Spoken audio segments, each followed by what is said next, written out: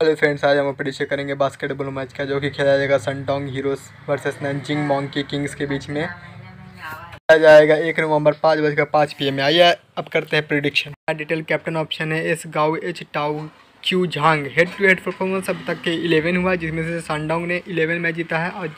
Nanjing ने zero match जीता है। विनिंग पब्लिक की बात किया तो सनडोंग के लिए रहेगा सेवेंटी परसेंट और नंजिंग के लिए रहेगा थर्टी परसेंट